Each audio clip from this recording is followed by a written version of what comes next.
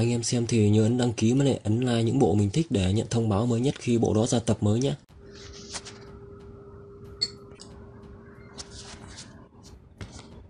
Ba ngày sau, Vân Hải Tông. Kỳ lạ thật. Vân Hải Tông này hình như không giống như trước đây, Có chút khác biệt. Đem đến cảm giác hư ảo phiêu diêu cho người khác. Đúng vậy, Hình như lại có mấy phần sương mù đang còn trôi lồi ở trong hư không. Vừa có lại vừa không có. Mau nhìn đi. Là Lâm Phong.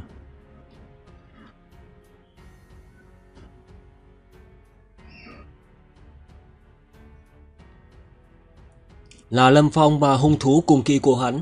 Tốc độ của Lâm Phong nhanh thật.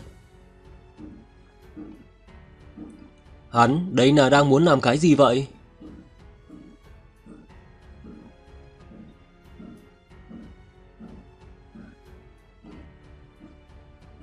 Đi đi, đi đến núi Vân Hải.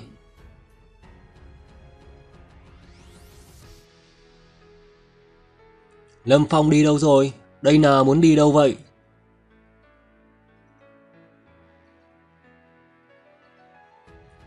Trước đây bác lão đã từng nói. Đi xuống tuyệt bích này, Nơi nghìn mét. Chính là ở đó, Cùng kỳ xuống dưới.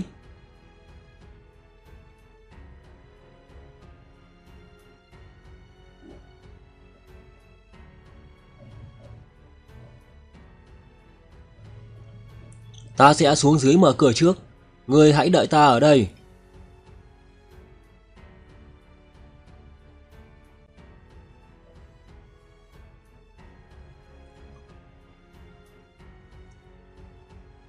Có lẽ là ở đây rồi.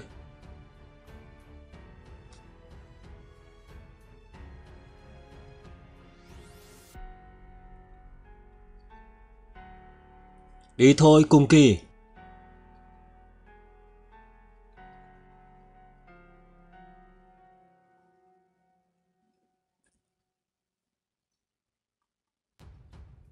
Cùng kỳ, lúc đó vẫn chưa có người.